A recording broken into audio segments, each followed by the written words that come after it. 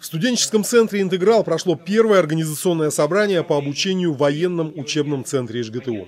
В зале потенциальные претенденты на звание сержанта или солдата запаса внутри стен вуза. Плюс военный учебный сбор сроком на один месяц. Под нужды центра уже выделены аудитории во втором корпусе техуниверситета.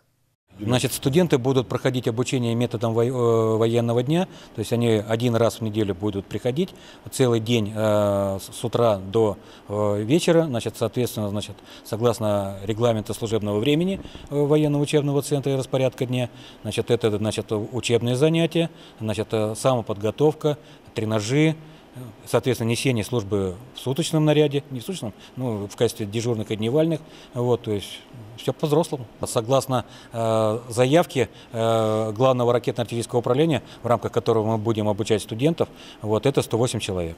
То есть один взвод сержантов 36 человек и 72, два взвода солдаты.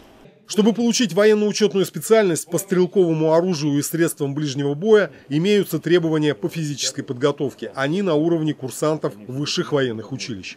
Конкурсный отбор продлится до 11 августа. Для начала желающему студенту необходимо взять бланк заявления в своем деканате. Сам военный учебный центр начнет армейское обучение в следующем учебном году.